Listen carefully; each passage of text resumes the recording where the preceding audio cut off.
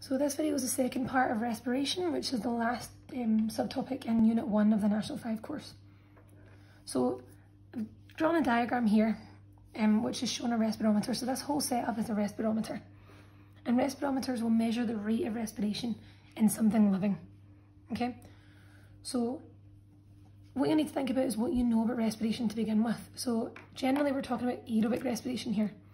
So thinking back, aerobic respiration involves glucose being taken in and oxygen being taken in and then carbon dioxide, water and ATP being produced. Okay, so that's what we learned from the, um, the video beforehand. Now, this diagram shows a couple of little wood lice. This could, um, in this example, be any living animal. It could be plants, it could be animals, it could be anything at all. So it shows these little woodlice.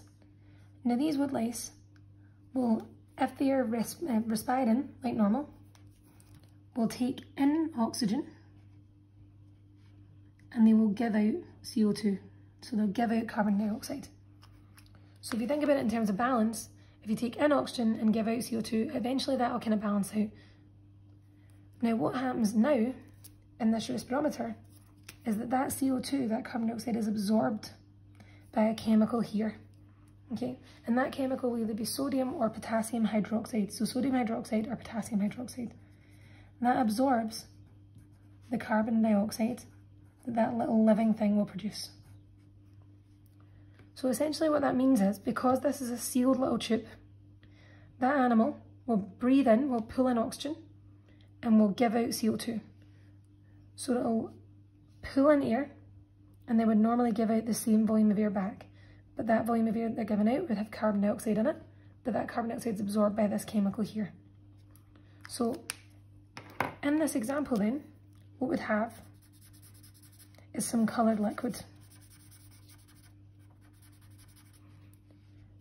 Now when that little organism breathes in, okay, and it pulls in oxygen, what it would do is it would lift this liquid level up. Now when it breathed out, normally that liquid level would go back down then, okay? But it wouldn't do that because the carbon dioxide has been absorbed by that powder here, by that chemical. So you'd imagine it breathe in, it would go up, breathe out, it would go down. But because what it's breathing out has been absorbed into this chemical, every time it breathes in, this goes up. Okay, so what I've got over here describes that the change of oil, or okay, sometimes this is oil, sometimes it's colour liquid, represents the volume of oxygen that that thing takes in. Okay, so it basically shows us how much oxygen that thing, that little thing is respiring and taking in.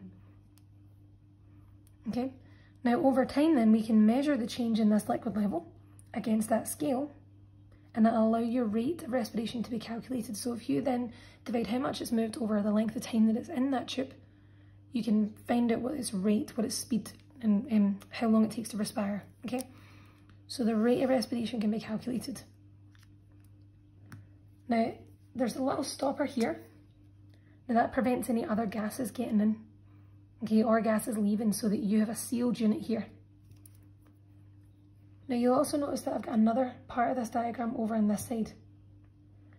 Now this diagram shows the same idea except it's not got wood lice in it. Now if I wanted to use this diagram to prove that the wood lice are the thing that are causing the change in that liquid, what I would do is I would call this setup a control. Okay, so you're proving by having this set up here that the wood lice are causing the effect. Now the wood lice are a living organism. It's proven that wood lice, which are living organisms, are the ones that are respiring and causing that change in liquid level. So what you would do is you'd put some glass beads in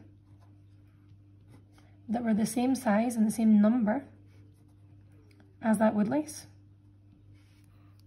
Okay, but these things don't respire. Glass beads are not alive, they don't respire, they don't take in oxygen and they don't give out carbon dioxide. So there's going to be no change in the liquid level here. So what that control does then is it proves that the wood lice are respiring and it proves that the wood lice are changing this liquid level. Okay, now this is normally an experiment um, or an, an example of an experiment that we would use in questions for homework or other things like that. So it would sometimes ask you about constant variables.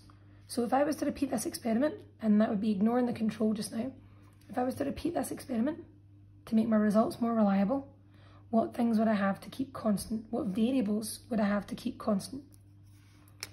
So the only thing that is changing is this liquid level. We're measuring that liquid level and we're basically keeping those wood-lice there. Right? So nothing else has to change, everything else has to stay the same. So if you've got these wee wood-lice, you would have to keep the type or the species of wood-lice the same.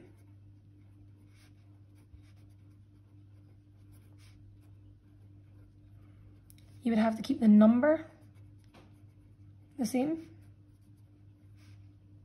So number of wood-lice the same.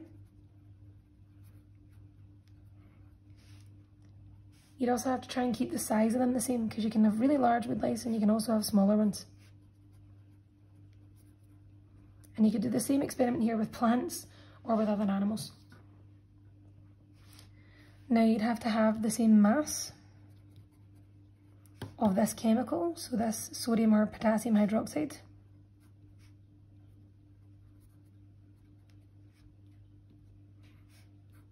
Because otherwise if you change that in mass, it might absorb more or less carbon dioxide.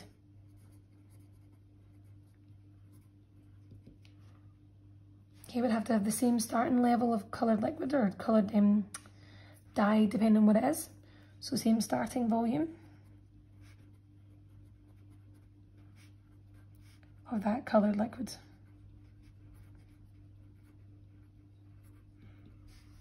Now these little things are also affected by conditions in the room, so you'd have to then think about keeping temperature the same.